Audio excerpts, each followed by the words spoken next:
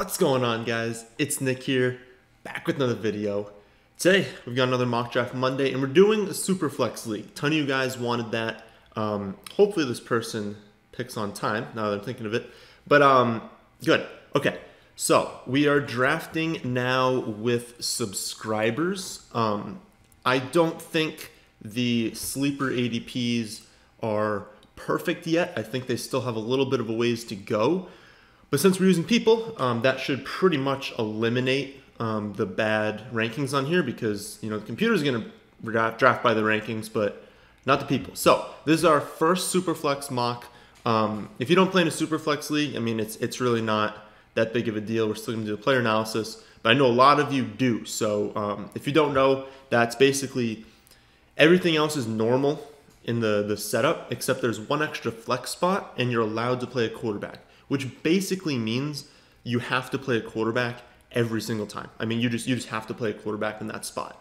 We're gonna take Michael Thomas here. Um, we only have 30 seconds, so I can't ramble on all of my uh, my picks like I usually do, when I put like two minutes on the clock. Um, but like I was saying, people ask what round do you want to take a quarterback in in these leagues, and that's not something you can always answer because every draft is different. You're going to be in super flex leagues where quarterbacks just fly off the board in the first two rounds, and you basically have to take one in round two or round three. And then you might be in some where, kind of like this one, like quarterbacks aren't really going yet. There's going to be a run for sure, uh, but you just need to adapt. You know, my general strategy is I kind of want one of that like top six, then I want another one in that like it's not exact, but that kind of, well, we'll pull up quarterbacks here.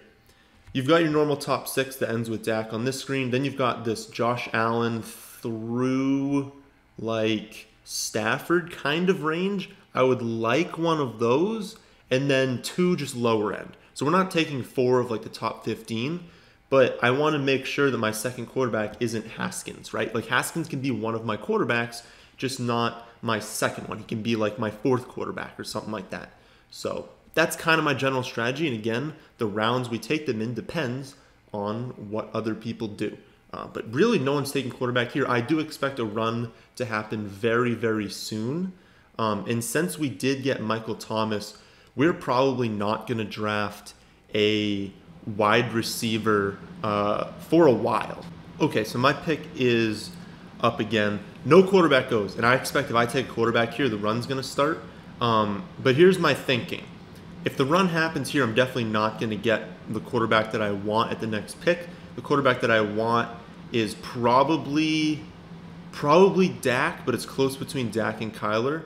Um, I'm going to take Kyler and hope that I'm gonna yeah I, I think Kyler is the right choice. I'm gonna hope that running back isn't just a wasteland when it gets to my next pick. Um, I probably should have looked at running back. Maybe Nick Chubb could have been a good pick, but I really think uh, people are going to get scared at some point, and just quarterbacks are going to start flying off the board. And I do, in these leagues, want to make sure that I get one of the quarterbacks um, in the in this top six. So we'll see what happens there. Uh, but our next pick, we're definitely going to have to be taking a uh, a running back. Let's try and guess. They have the line. They do have the line. Okay. So it kind of looks like at our next pick will be between like Melvin Gordon, Carson. Okay. So still like a pretty normal, um, I guess third round range for for running backs, which kind of makes sense because if people start drafting these quarterbacks, um, not too many running backs should come off the board. Who would we want? Chubb's not going to be there. Jones won't be there. Fournette could be there. Um, I actually think the pick there would be Melvin Gordon, and that would be really nice if we can get him. Um, there's no one hidden, right? Jonathan Taylor's hidden still, so they need they need to update the ADPs a little bit. But in general, I actually think these are a lot better than they used to be. So Taylor's the only one that uh, definitely needs to, to be brought up a little bit. Maybe we can get him in the fourth round. So still no running backs. We get we get the run. like I just said would happen. As soon as people saw me take it, they're definitely uh, scared that they're to go off the board. So we see Wilson, we see Prescott and Watson all go in the second round. Um, and then Tyreek Hill and Julio, and then now Godwin ends the first tier of wide receiver. So beginning the third round, tier one of wide receiver is gone. Um, basically, the top tier of running back is gone uh, once Aaron Jones gets selected, which I expect to happen like the next two picks. And then if we look at quarterback, the first tier of quarterback is gone. So I guess if you're in a 12 team super flex league, know that as soon as the third round begins, that is, or I guess early in the third round, that is basically when tier one is over, which is actually kind of nice that it works out that way. That basically everyone is going to get a t- two tier one players, and you can kind of do what you want. You know, you've got uh, team 11 over here getting Adams and Hopkins, really nice start. Uh, we've got Jacobs and Kenyon Drake. I went with wide receiver and quarterback, which I guess this will be really interesting to see uh, what my running backs end up being. If we can go um, with the quarterback we want, with the wide receiver we want, and then just try and load up on some running backs here, can we still get a core that we like? So we do get the running back that we wanted. Um, I actually didn't think he was going to take one because he already had Cook and Ekeler. Um, that's a nice pick getting getting Kittle there. So we are going to take uh, we are going to take Melvin Gordon here. I do think you could you could have taken Leonard Fournette at that spot. Um, I think that if if and we're not going to know for a little bit, uh, Chris Thompson doesn't make the team, then we're going to need to move Fournette up in the rankings. As of right now, that's a possibility that he's going to steal a lot of the receptions. And while the touchdowns are going to go up for Fournette, uh, I think I like Melvin Gordon a little bit more. I might have to adjust the rankings and move Melvin Gordon up a little bit.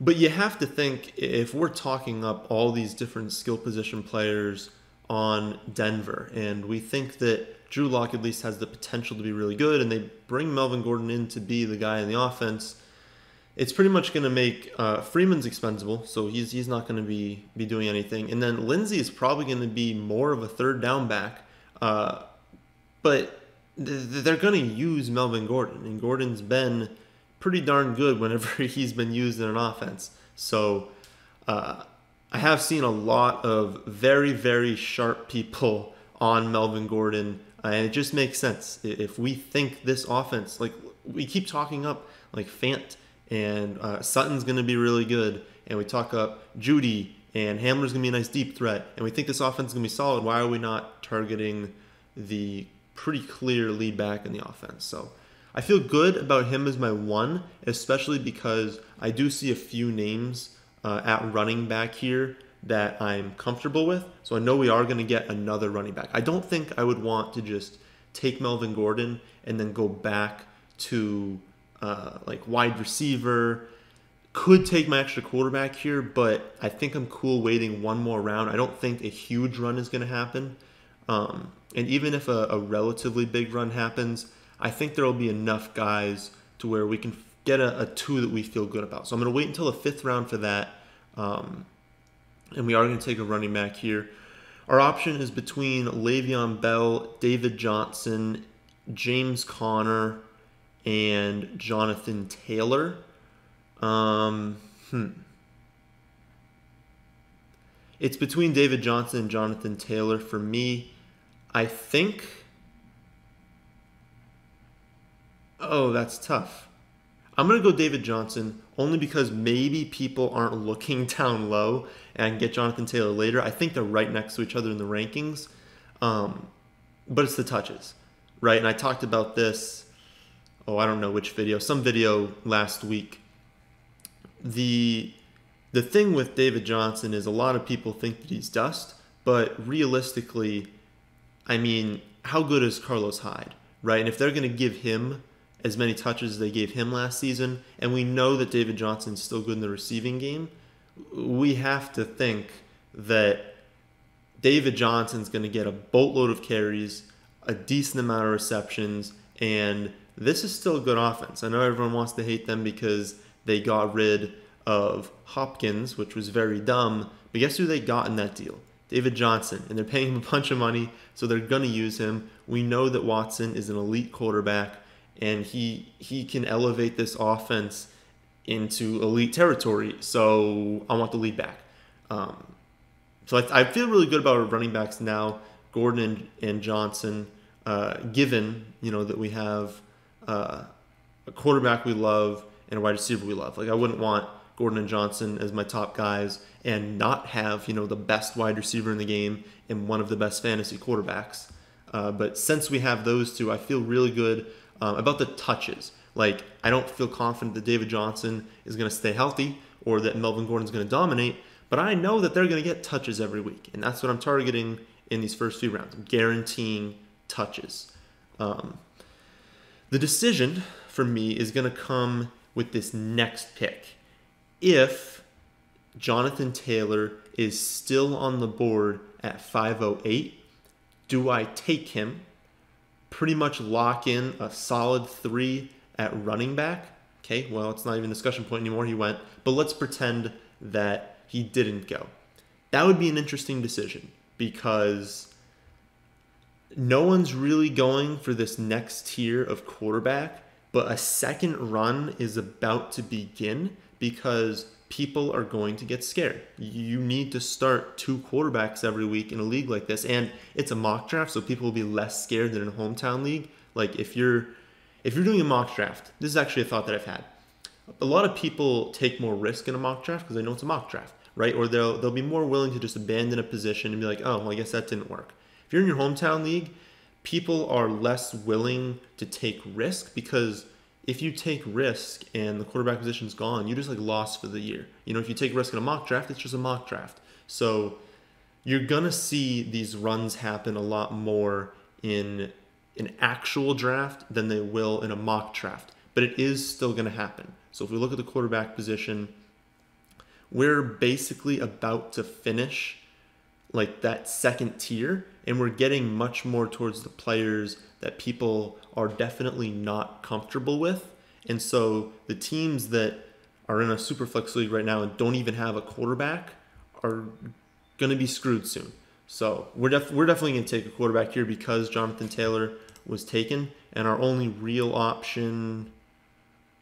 I don't even know. You, you shouldn't even consider.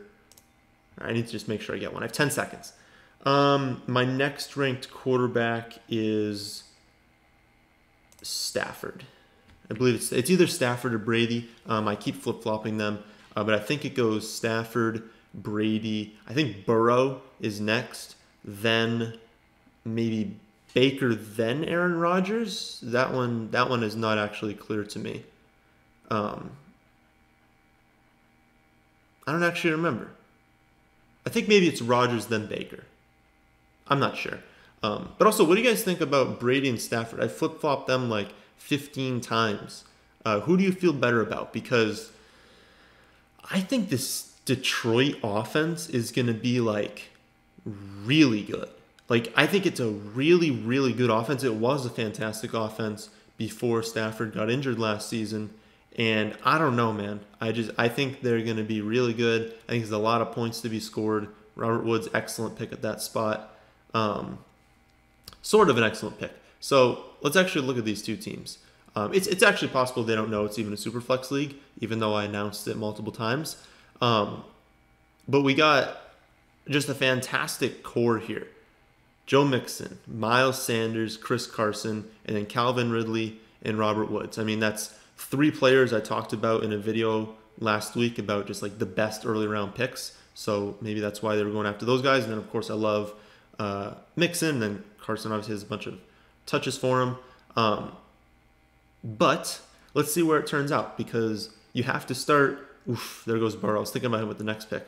You have to start two quarterbacks every week in this league. So as much as his skill position player is going to be good, it's like look at my skill position players right now. I mean, how much is of an edge is he going to have me at wide receiver? Because I mean, he has Ridley and Woods, but I have Michael Thomas, and I'm probably going to get someone who's decent.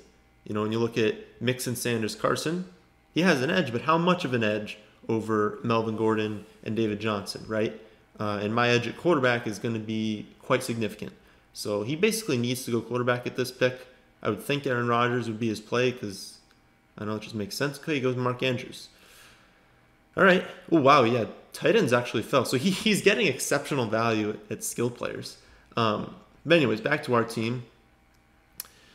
I consider going Rodgers. I know I uh, I'm down on him overall, but look at the rest of the options. I would prefer prefer if gone Burrow, but he's gone. I feel like maybe we take Rodgers and then we're we don't need to worry at all about a run happening here at quarterback. And we can basically just ignore it for for the rest of the draft. I don't know I don't need any of those wide receivers. Let's do it. Let's do it. Let's see what happens. We'll take Rodgers, and um, I think we're going to be fine. I, I, really do think that. Uh, if because if I was taking a wide receiver, I probably would have taken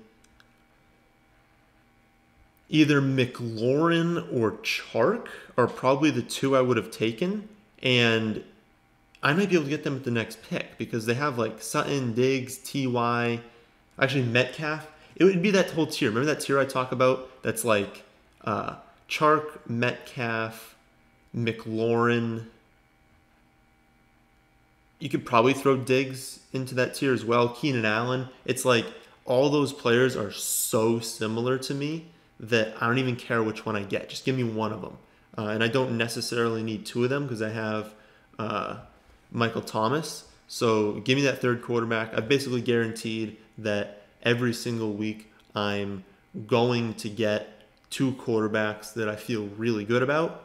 Um, and then we're going to wait until, I don't know, pretty late in the draft, um, probably, unless the, like a big run happens or something. We're going to wait until pretty late in the draft uh, and just take like a low end guy, just just a low end starter that we know is going to be a starter, just in case an injury happens.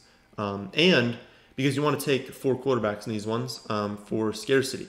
So me taking a quarterback is making sure someone else in my league doesn't take a quarterback. I want four because if one, like say I took Big Ben last year, well he goes down now. If I only have three quarterbacks, now I only have two, and there's not going to be any on free agency.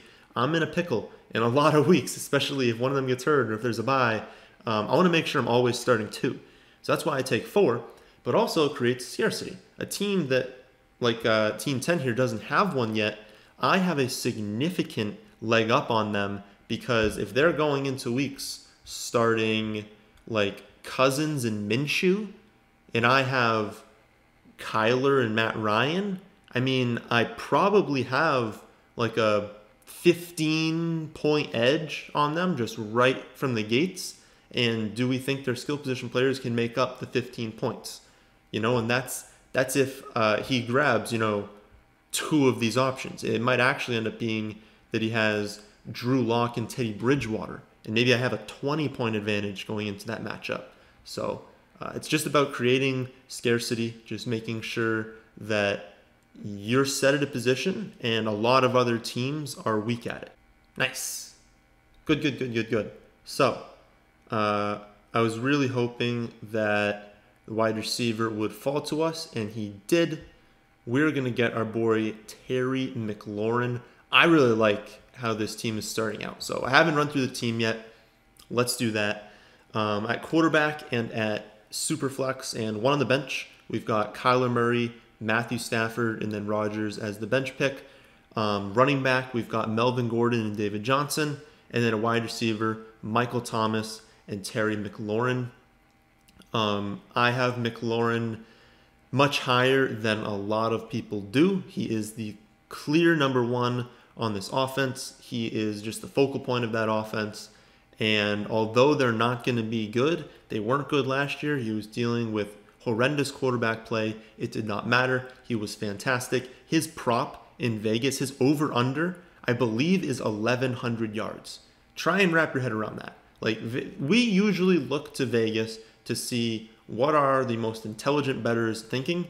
And they're saying on average, he's probably going to have around 1,100 yards. That's a higher prop than a lot of really good players have.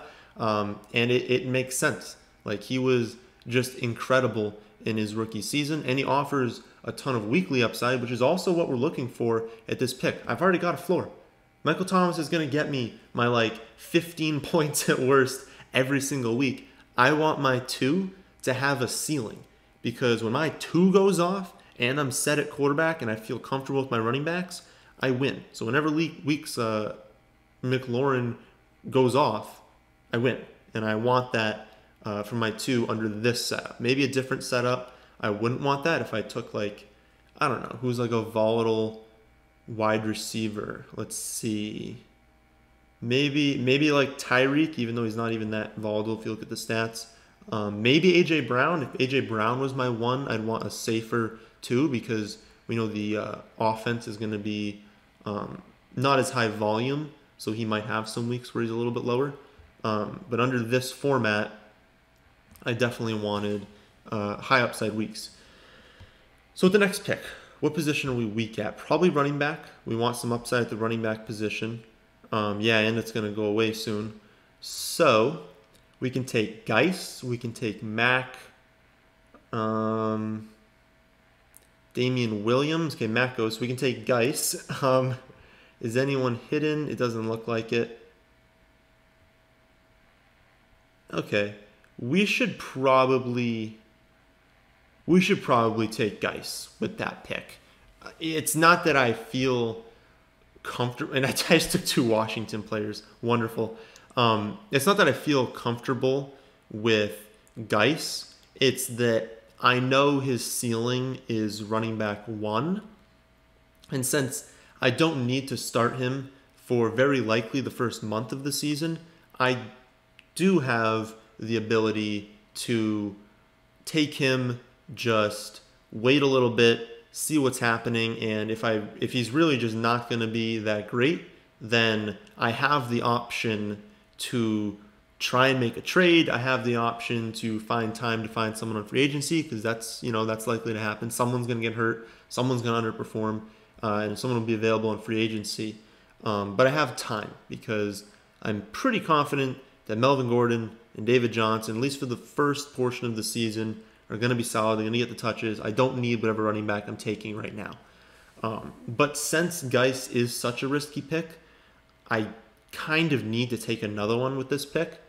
Uh, so, and what's nice is since I have these three quarterbacks, I can afford to not grab my fourth one just yet uh, and go back to running back. Um, I'm thinking Zach Moss with the next pick. I, I don't want Kerryon. I guess Damien would have upside. Breida would have upside uh, if he does win that job. Wow, that's incredible value on Parker this late. Um, Mattison, if Dalvin Cook were to hold out. But I like Moss. Jordan Howard. Jordan Howard is probably a better value than Breida because, I mean, we don't know who's going to win that job, but we do know that Howard has been productive on some pretty bad. Uh, I wouldn't say pretty bad offenses actually. I mean the Bears weren't Bears weren't that great uh, when he was productive for them, uh, but on different offenses he's he's been productive. But it's mostly these upside guys. Definitely Boston Scott. We, we should really be targeting him. Um, you guys know how good Boston Scott was even when Miles Sanders was healthy last season? I mean, he was can I actually pull up stats from last year? I don't even. Oh, cool, I can. Let's see. I wish that they made this hold. So rushing, or I guess we can look at like PPR points. Um, PPR points to end the season 25, 13 and a half, 8, and 36. And the 36 was with um, an injured Miles Sanders. But the point remains he has he has a ceiling. He, he had a lot of receptions when uh, when he was still healthy. But I don't feel great about which running back I'm taking here. So, oh, I think I'm going to go Zach Moss. The maybe mm, I'm going to go Zach Moss because I have four seconds. I would have probably had to put a lot more thought into that pick. Uh, but I honestly think I honestly think Moss is he's going to be good because we've already confirmed that he's getting the goal line work. We have uh, pretty much I wouldn't say we've confirmed that he's going to get third down work, but you have to think that with how bad Singletary was last year and how good Moss is in the receiving game, um, and the fact that they've already come out and said that Frank Gore, um, that role that Frank Gore had last season is Moss's. They've just basically said that um, he's going to get early down, he's going to get some goal line. With how good he is, like I said in the receiving game, he's going to have some third down. So I just think he's like a better version of Singletary. And so give me that. Give me that late in drafts. Um, because again, I'm good with my first two running backs. I just want upside here. We should probably look at wide receiver. Um, I do think that, well, Deebo is probably auto picked, although the guy's here, so I don't know what he's doing. Um, Michael Gallup. No, I guess I guess that's actually a fine range for for Deebo at this point. My, my take on Deebo is that he's probably not going to be fully healthy to begin the season. That's kind of where his timetable is. Um, so it's it's not it's not a bad pick there. He's just he's a very big risk. Um, but at wide receiver, we probably don't have that many options. We don't. Um, but Anthony Miller stands out. Diontae Johnson stands out. Um, we're gonna go with Miller first, and hope that Johnson's there after. And I do I do have Miller ranked ahead. Um, I could have taken Edelman at that pick, but Edelman really has no upside, and I kind of need someone with a little bit of upside at this pick. And Miller, Miller was phenomenal down the stretch last season, and um, we have to think their offense at worst is going to get a little bit better. Like there is there is no way they could get any worse. And given how good he was when he was finally healthy, finally getting the snaps last season, it, in the middle of the 10th round, I think that is exceptional value. So I, I do think his ADP is going to rise probably into like the eighth round, is what I would think. Once, uh, maybe not a super flex league, but once these, uh, once these leagues really start happening and people realize that there are vacated targets on the Browns and that they're probably going to be a little bit better, uh, they're going to look at Miller and be like, oh, he's, he's actually a great, great value. Um, let's run through the team. We've got at quarterback Kyler Murray, Matthew Stafford, Aaron Rodgers. Running back, we've got Melvin Gordon, David Johnson, Darius Guice, and Zach Moss. And then wide receiver, Michael Thomas, Terry McLaurin, and Anthony Miller. Um, we're pretty much even at running back and wide receiver as far as my confidence level, given that we have The Rock and, and Michael Thomas, and we're only going to be starting two wide receivers every week. Um, so we don't really we don't really need many more receivers. Maybe maybe two, maybe two. I don't know. That's a question actually. If you want one or two more, um, quarterback is basically gone.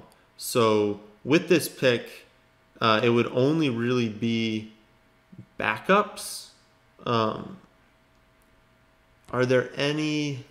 Hmm. It's technically only backups, but also Fitz is going to start the season. We don't know uh, when they're going to make the switch. But Fitz will start the year. Tyrod Taylor is probably going to start the year.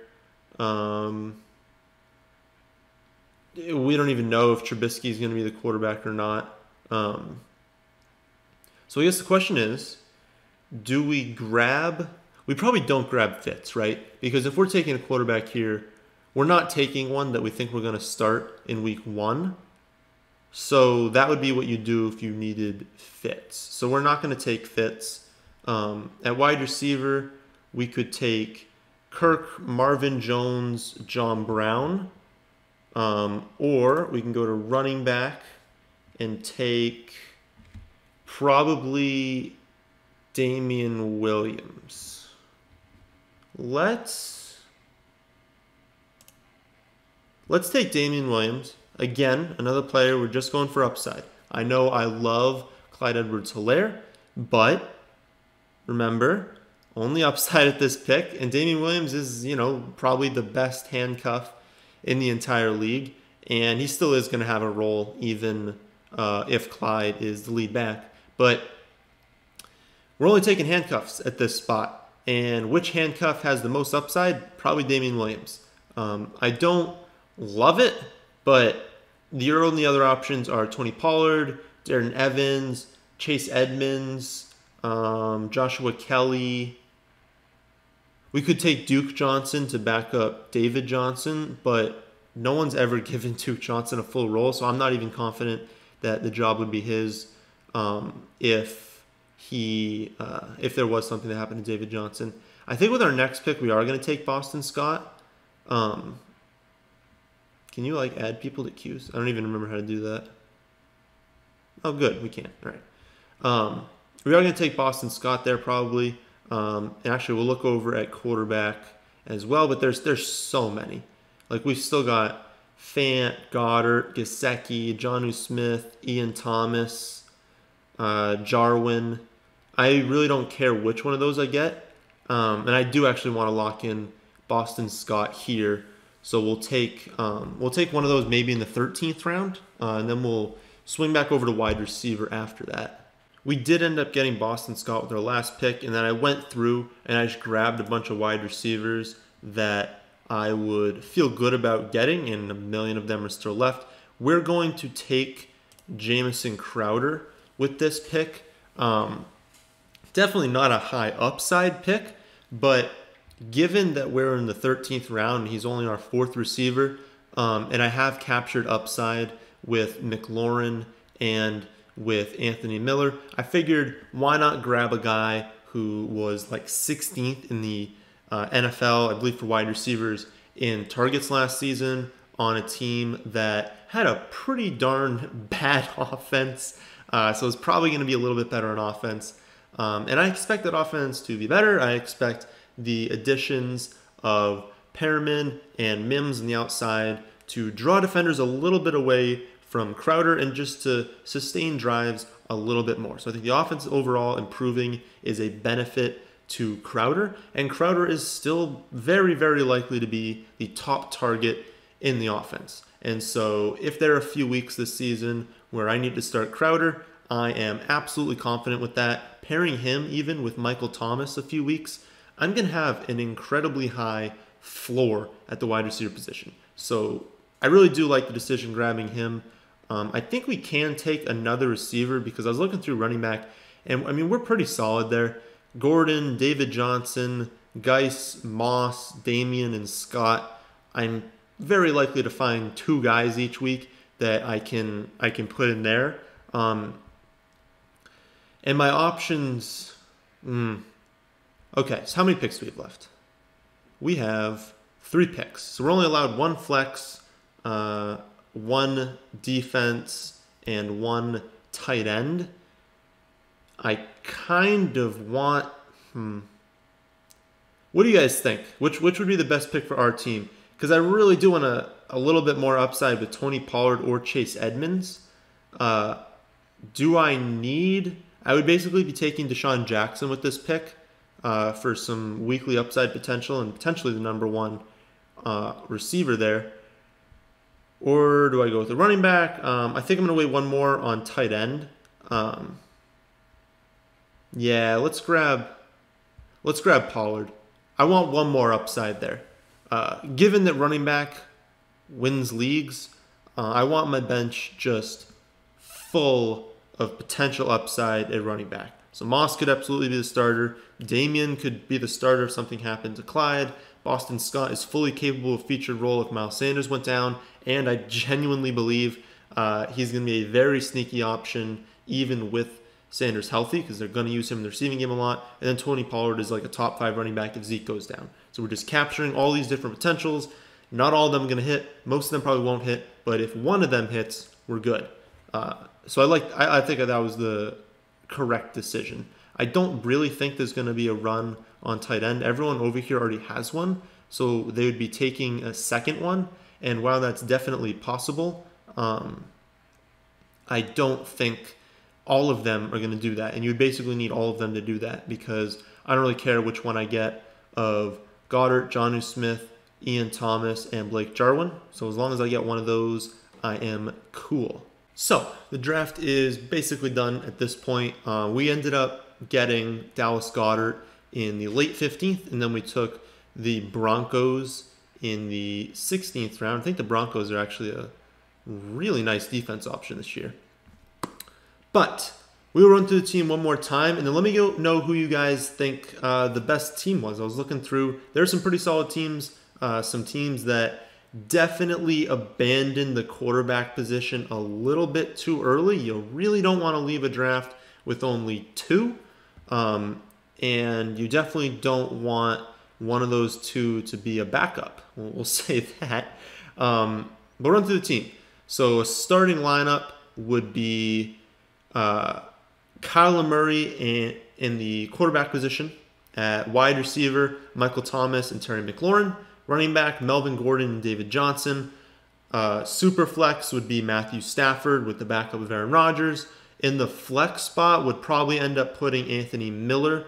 Uh, and then the bench would be uh, a ton of upside running backs Guice, Moss, Damien Williams, Boston Scott, and Tony Pollard with the backup wide receiver of Jamison Crowder and then Goedert at tight end and the Broncos defense. So let me know who you guys think had the best team. Let me know um, where you think maybe I went wrong. Should I have waited at this Rodgers pick?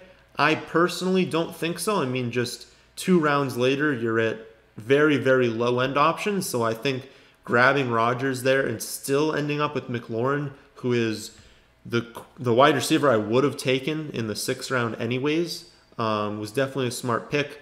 Uh, and I would have preferred to leave the draft with four quarterbacks, but since all of these quarterbacks are ones I feel are definitely going to produce, um, maybe Rodgers doesn't produce like a high end quarterback, but I mean, he came off the board as like the quarterback, what, between 15 and 20, something crazy like that. Um, at that point, yeah, you're, you're taking Aaron Rodgers because uh, you know the floor is there. Um, so let me know all those things. That's the end of this one. Hope you guys did enjoy. If you did, how about hitting the like button? How about subscribing to the channel if you're new? Thanks for watching.